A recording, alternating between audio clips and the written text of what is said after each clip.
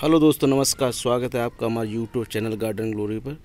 तो दोस्तों, आप देख रहे हैं कोलियस, और ये हमने कोली सी कटिंग लगाई थी एक महीना पहले।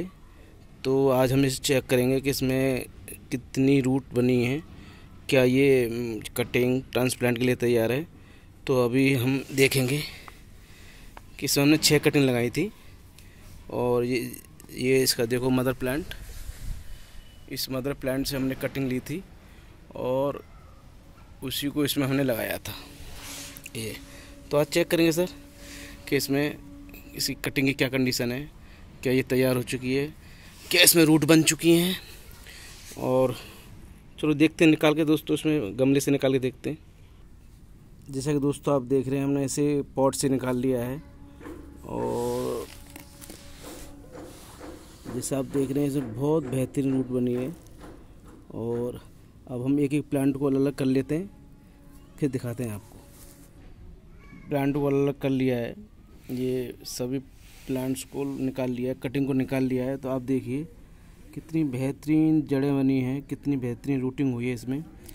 अब ये बहुत अच्छा रिज़ल्ट है। तो हम दोस्तों बताएँगे जब कटिंग हमने कैसे ली थी और इसके लिए सॉइल मिक्स क्या क्या बनाया था और इसकी क्या क्या देखभाल की थी। तो अब जैसे आप जानते हैं दोस्तों, हमने इसका मदर प्लांट दिखाया था। उसके मदर प्लांट से हमने एक सार्फ ब्लेड से एकदम नॉन यूज़ वाला ब्लेड होना चाहिए। उससे 45 डिग्री में हमने कटिंग काटी थी।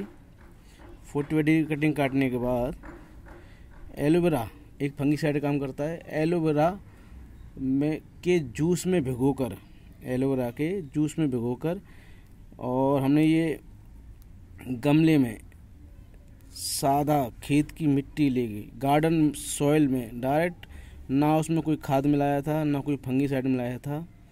डायरेक्ट हमने खेत की मिट्टी में ही, गार्डन सॉइल में ही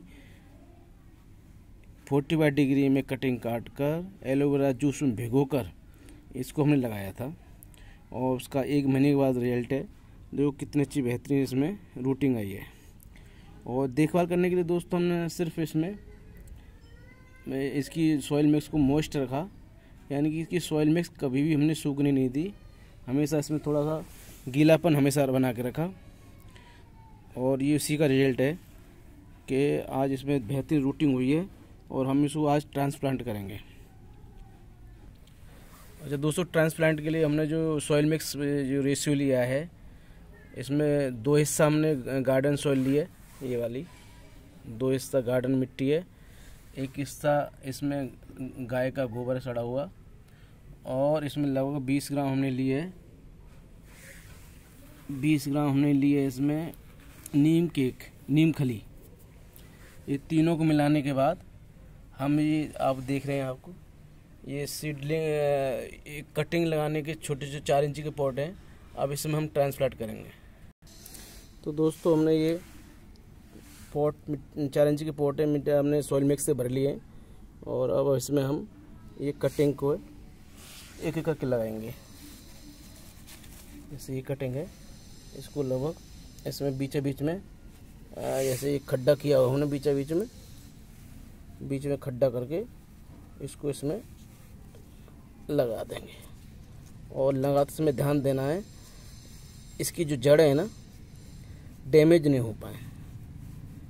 इसकी यही सावधानी है कि इस जड़ें डैमेज नहीं होने पाए। ऐसे करके हम सभी लगा के आपको दिखाते हैं।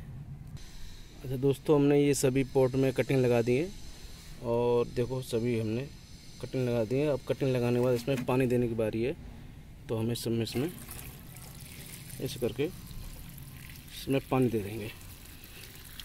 और कम से कम एक हफ़्ते के लिए इसको शेडिंग एरिया में रखना है। तो दोस्तों आज आपने देखा कोलियस की कटिंग और उसको ट्रांसप्लांट करना। हमने कटिंग आपको निकाल के दिखाई आपने बहुत अच्छी उसमें ग्रोथ हुई है। उसमें अच्छी से उसमें जड़ें बन गई थी और ट्रांसप्लांट तैयार थी। तो कटिंग आ, कटिंग लगाने के लिए जो हमने सॉइल मिक्स ली थी वो सादा मिट्टी जो खेत की मिट्टी सादा मिट्टी में ही कोलियस के जो मदर प्लांट है उससे हमने फोर्टी डिग्री में कटिंग काटने के बाद और एलोवेरा के जूस में भिगो के लगा देती और जब इसको ट्रांसप्लांट किया है तो हमने आपको दिखाया है जो दो हिस्सा इसमें मिट्टी गार्डन मिट्टी लेनी है सॉइल मिक्स के लिए। एक हिस्सा गा, गाय का गोबर लेना है और थोड़ा सा इसमें लेना फंगी साइड के लिए ऑर्गेनिक नीम केक दोस्तों आप भी ट्राई कीजिए। अगर आपको वीडियो अच्छा लगा है तो वीडियो वीडियो को लाइक कीजिए शेयर कीजिए और हमारे चैनल नया है इसे सब्सक्राइब कीजिए। और कुछ भी सजेशन हो उस पर कमेंट कीजिए। Thank you thank for watching